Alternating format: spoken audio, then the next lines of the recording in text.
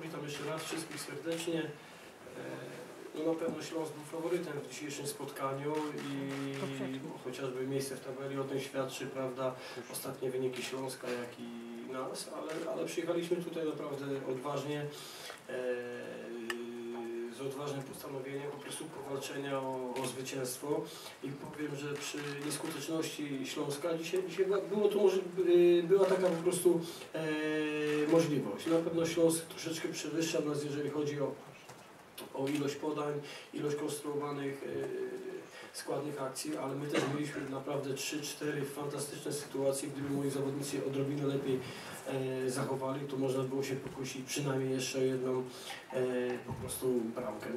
Na pewno wynik e, remisowy na tak trudnym terenie cieszy, aczkolwiek musimy poprawić, ja już myślę tutaj o następnym meczu, e, swoją skuteczność i, i zdobywanie punktów, jeżeli chodzi o, o grę na naszym własnym e, stadionie.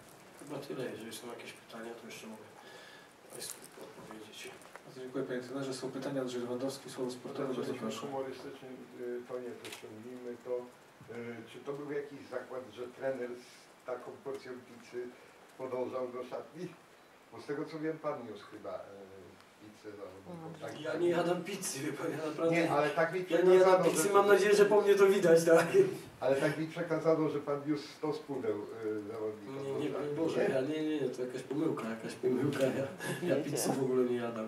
Mhm. A zawodnicy? Dobrze. Zawodnicy też nie, no jak najbardziej.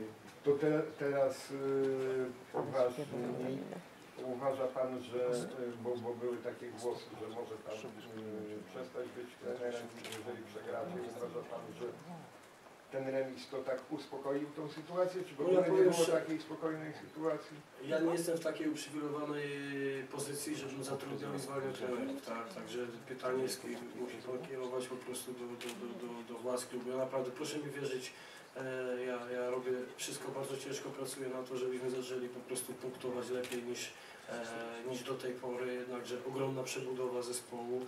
Widzi Pan, ilu, nie wiem, w, waszym, w Waszej drużynie, nie wiem, 20 chyba dwóch, dwóch zawodników, 24-letnich, tak? Na, e, w mojej sześciu czy pięciu, tak, którzy nie przekroczyli tam 21 czy 2 roku życia.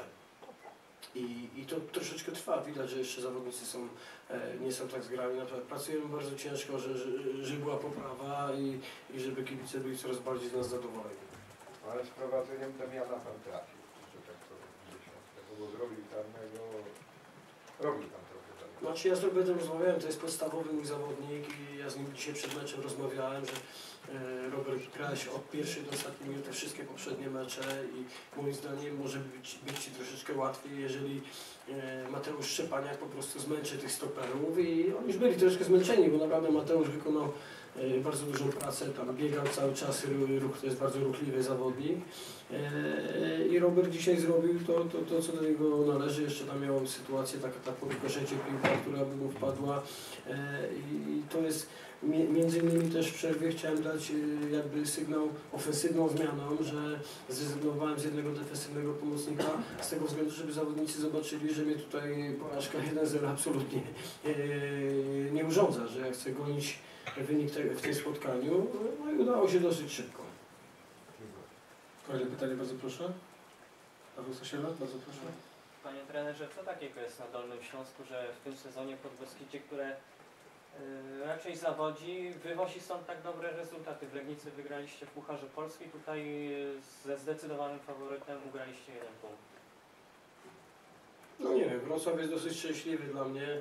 Ostatnio też tutaj praktycznie do 95 minuty chyba jak byłem w Bielsku prowadziłem 1-0 i Gikiewicz strzał życia, nie wiem czy strzelił w karierze, czy strzeli jeszcze taką bramkę jak tutaj zdobył, nie wiem czy Państwo pamiętają. E, Także no, ciężko pracujemy, ciężko pracuje zespół i zawodnicy pracują, no, no, no chcą się, e, powiem szczerze, ten ostatni mecz też w domu nam z Pogonią Szczecin, znaczy może nie, nie wyszedł, ale błędy indywidualne się przytrafiły trzy, które Pogoń naprawdę fantastycznie wykorzystała, a, a też moim zdaniem nie, nie, nie zasłużyliśmy po prostu e, na porażkę i staramy się po prostu punktować zarówno w domu, jak i u siebie. To nie ma znaczenia gdzie, gdzie czasami łatwiej jest o punkt na wyjeździe niż w domu. A Antoni Bugajski, przegląd sportowy, bardzo proszę. Panie trenerze, chciałem zapytać jeszcze o Roberta Tymiana. Czy to oznacza, że mm, to będzie manewr, który Pan będzie stosował też w kolejnych meczach, jeśli chodzi o jego sytuację wyjściową? Znaczy będzie siedział na ławce? Nie, no, ja- ja już tutaj po części odpowiedziałem na Pana pytanie z tego względu, że Robert naprawdę grał wszystkie mecze i on jakby to jest zawodnik, który można powiedzieć gra gra nie tylko głową, ale również organizmem bardzo, tak, absorbuje dwóch stoperów i, i naprawdę y, jego wysiłek fizyczny w każde spotkanie jest naprawdę ogromny. I uznałem, że y, nie dlatego, że grał słabo w ostatnim meczu, tylko dlatego, że ten, ten oddech mu się po prostu y, przyda. I, i można powiedzieć, to jest, to jest raczej podstawowy zawodnik i w obecnej sytuacji trudno sobie wyobrazić zespół bez tego zawodnika, aczkolwiek mówię, no to nie znaczy, że w każdym meczu będzie grał y, w podstawowym składzie. Tak?